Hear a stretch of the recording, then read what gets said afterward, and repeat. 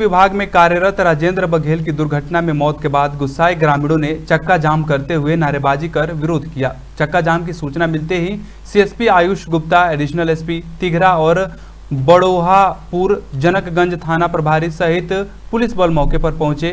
परिजनों से मिले, परिजनों की मांगों को जिला प्रशासन के अधिकारियों के सामने रखा।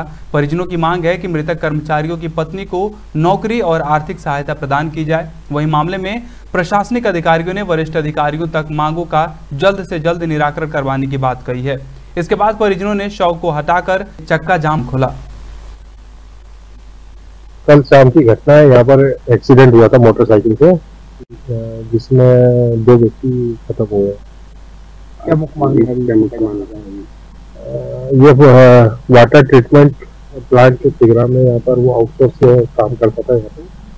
तो इनकी मांग है कि भाई उसको इसके परिजनों में से किसी को नौकरी दी जाए और जो भी सहायता दी जाए तो उनके अधिकारियों में बातचीत करते हैं। पूरा मामला ये है ये राजेंद्र बघेल पास में गाँव है गवंडीपुरा। ये नगर निगम में नौकरी करते हैं। यहाँ इनकी नौकरी है अटैच ग्वालियर में।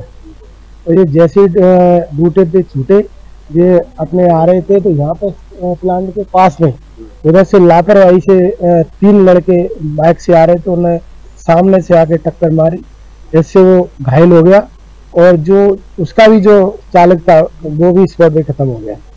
और उसके बाद, वो कम से कम जो रायन बघेल है, वो करीब करीब एक घंटा या पैक करा उसके बाद गाँव वालों को पता पड़ा था ये दौड़े दौड़े पैदल पैदल आए। जब ये जराए तो जहाँ पुलिस की गाड़ी भी आ गई थी डायल नंबर सौ। उस डायल नंबर सौ की गाड़ी से उन्होंने बोला, पुलिस की गाड़ी से, कि आप इसको डाल के थाने ले जाओ। तो उनने भी उसे ले जाने से इनकार कर दिया। उसके बाद वो तड़प रहा ये ग्रामीणों के पास कोई साधन नहीं था। इसके बाद ये मोटरसाइकिल से ले गए। उसको मुश्किल से हॉस्पिटल तक ले गए। वो थोड़ी बहुत ज़िंदा रहा। तो उसकी डेड हो गई।